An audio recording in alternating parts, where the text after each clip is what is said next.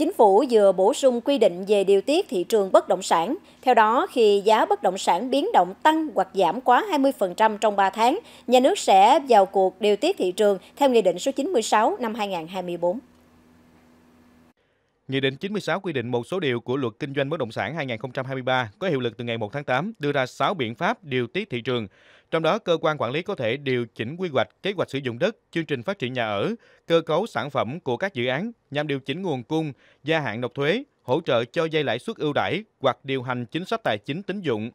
Như vậy, so với quy định cũ, Luật Kinh doanh bất động sản 2023 và Nghị định 96 đã bổ sung cơ chế điều tiết thị trường địa ốc, nêu rõ vai trò của từng cơ quan liên quan, theo đó, biện pháp điều tiết thị trường bất động sản được thực hiện khi chỉ số giá giao dịch tăng hoặc giảm trên 20% trong 3 tháng, hoặc khi thị trường có các biến động khác ảnh hưởng đến ổn định kinh tế xã hội. Biến động trên thị trường được Bộ Xây dựng đánh giá dựa theo chỉ số giá, lượng giao dịch và các chỉ số về kinh tế xã hội thuộc các lĩnh vực khác liên quan bất động sản.